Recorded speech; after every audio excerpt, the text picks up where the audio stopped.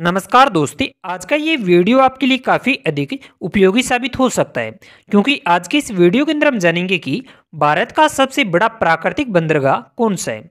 और ये केवल इसके बारे में ही बात करेंगे तो कह सकते हैं कि वीडियो आपके लिए काफ़ी अधिक महत्वपूर्ण हो सकता है, मगर वीडियो को शुरू करने से पहले, अगर आप हमारे चैनल पर नए हैं तो कृपया वीडियो को लाइक करें और चैनल को सब्सक्राइब ज़रूर करें।